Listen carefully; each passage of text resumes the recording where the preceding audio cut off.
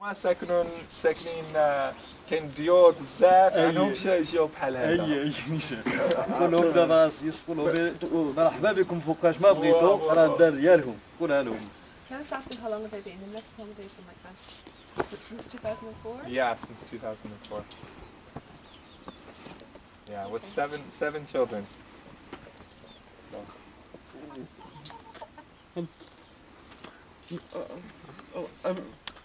there's no electric of any kind. no, no electric. The the closest drinking water is is miles away.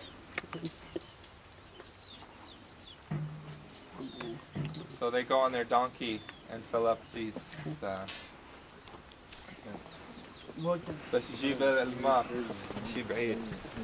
يجيب الماء خاصك تمشي بعيد. That's She's not done. common equipment. Yeah, to be they, honest. they'll They actually should be be. much better than, than any group we've had before.